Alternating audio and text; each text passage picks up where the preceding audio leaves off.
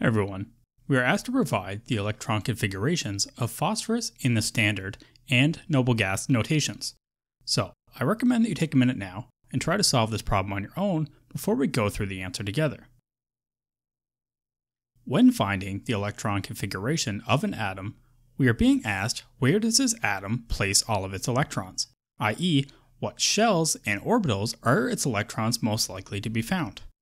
So, to solve this, the first thing we need to do is look at our periodic table and see how many electrons our phosphorus atom actually has.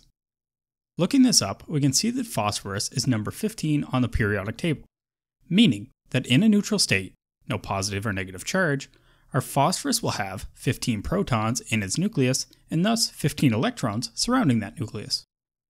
Let's also remember in our past videos, we talked about this handy little device for solving the electron configurations of atoms.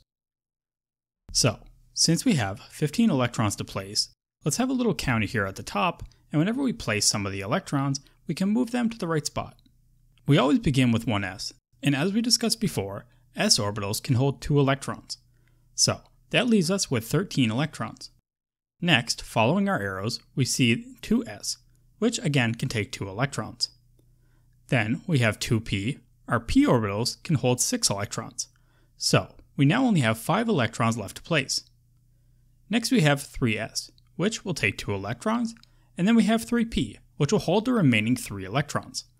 However, just remember Hund's rule, which states that each electron will occupy its own orbital before spin pairing with another electron. There we go, we have just solved for the standard electron configuration notation for phosphorus. To solve for the noble gas notation, we need to find out the noble gas that is underneath phosphorus.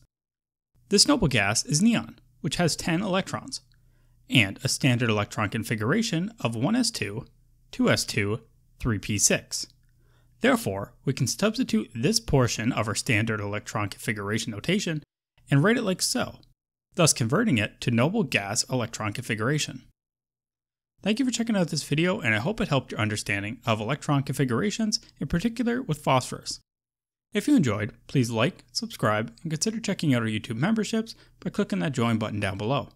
However, if you have any comments, questions, or concerns about the information I provided in this video, please leave a comment down below and I will do my best to address your concerns.